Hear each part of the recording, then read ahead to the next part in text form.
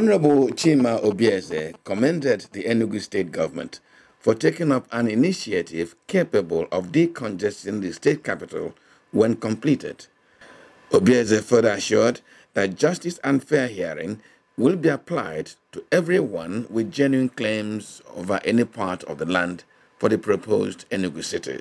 This government is a responsive government and uh, uh, in the whole nation, everybody know the governor of Enugu State as a peace-loving governor and one, a leader that has uh, a, a, kind heart.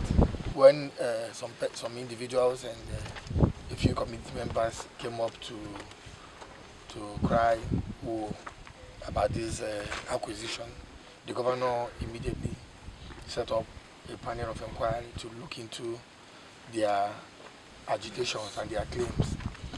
I'm sure that when the report is submitted, it will capture all those who have genuine, you know, claims over this place. During an interactive session, the Permanent Secretary, Minister of Housing, Obiora Onugu, said the land for the proposed new Enugu City is up to 279 hectares.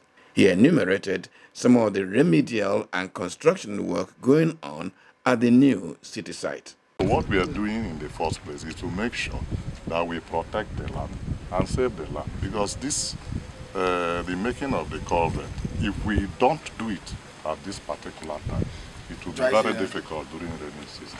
The new Enugu city, with about 4,185 plots of land, is expected not to have similar issues being witnessed in other government layouts, such as poor planning, illegal structures, and unregulated or poorly managed construction of buildings.